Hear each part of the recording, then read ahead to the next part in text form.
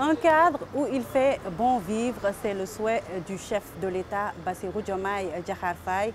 C'est la raison pour laquelle il a initié une journée d'action citoyenne, autrement dit, journée de cette cétale nationale. L'objectif est de rendre nos villes et campagnes propres. Bienvenue dans ce nouveau numéro de 7 sur 5 qui se tient dans une ruelle propre située au cœur de la capitale, Dakar.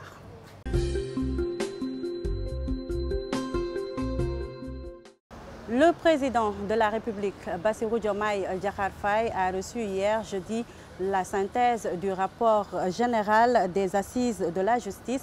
Le chef de l'État, très satisfait des conclusions, a remercié le professeur Babacar Gueye, son équipe et les membres des différentes commissions.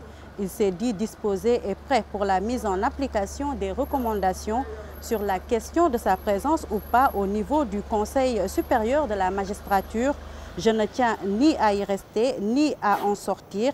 Je suis totalement neutre par rapport au Conseil supérieur de la magistrature, a-t-il déclaré lors de cette cérémonie de réception du rapport général des assises de la justice.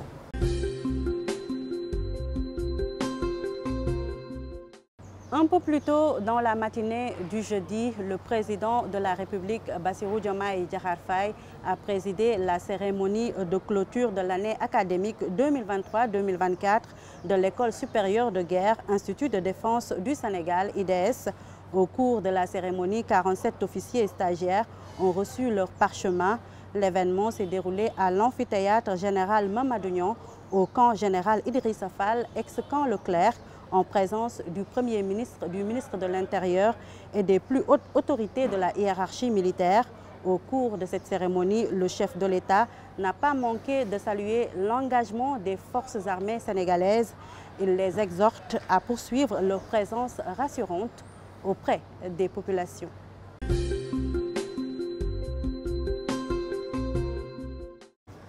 Le ministre de l'Intérieur, Jean-Baptiste a effectué mardi une visite de prise de contact à l'état-major de la Brigade nationale des sapeurs-pompiers.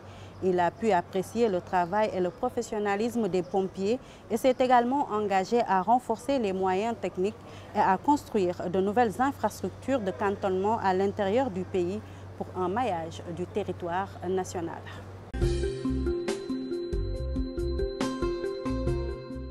Et puis, le ministre de la Communication, des Télécommunications et du Numérique, à l'USAL, a effectué une visite dans les locaux du Centre Monitoring de la Télédiffusion du Sénégal, TDS, pour s'imprégner des conditions de travail des agents. Après avoir écouté le personnel, l'USAL promet de faire le nécessaire pour répondre aux besoins des travailleurs.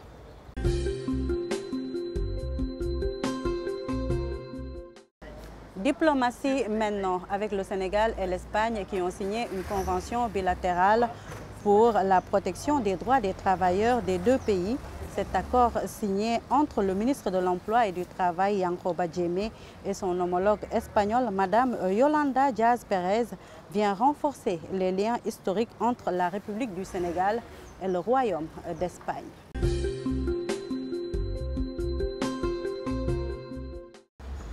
L'agenda de ce week-end, opération Setal Sunyureu, la deuxième édition est prévue demain, samedi 6 juillet 2024. Le lancement officiel aura lieu à Saint-Louis en présence du Premier ministre. Ousmane Sonko y donnera le ton qui aura un écho national. Après une première journée réussie, le chef de l'État, Bassirou Diomaye Diakhar Faye, appelle encore une fois les Sénégalais, notamment les plus jeunes, à se mobiliser à nouveau pour curer et nettoyer nos villes et campagnes. La participation de tous est donc vivement souhaitée demain, samedi 6 juillet, à partir de 9h.